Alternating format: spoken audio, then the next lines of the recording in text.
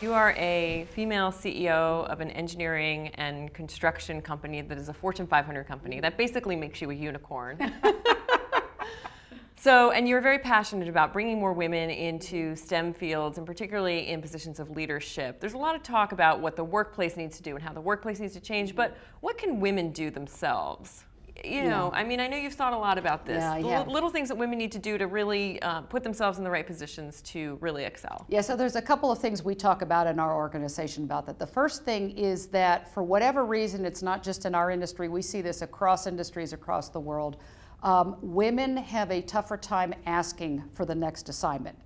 Um, I think in a lot of ways, women feel that if they do a good job uh, and they excel and they do all the things they need to do, they'll be noticed uh, and they'll be tapped on the shoulder for the next opportunity. I always thought that. and, and really, to be honest with you, in most organizations, uh, particularly as you're rising through the ranks, it's the people that raise their hands they get the next opportunity, particularly because they have a drive and they're accomplished, et cetera. So we do tell both men and women, but particularly from a, from a, a, social perspective, tell our women, please make sure that you understand what your goals are and that you raise your hand, you make your goals known.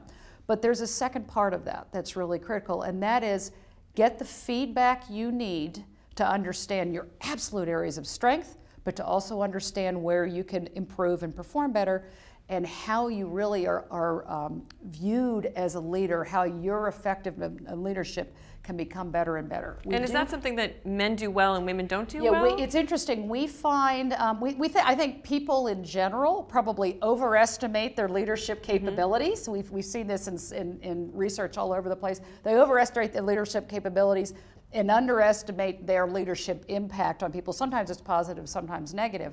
Uh, but also, I think most people are generally aware, but maybe not acutely aware uh, of how they impact others, particularly when they impact them in not such a positive way.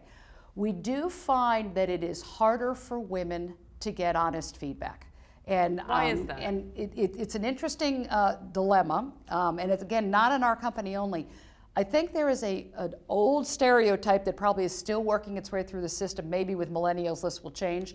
That people don't want to hurt women's feelings. Mm. Um, people also don't seem to want to want to give positive feedback sometimes.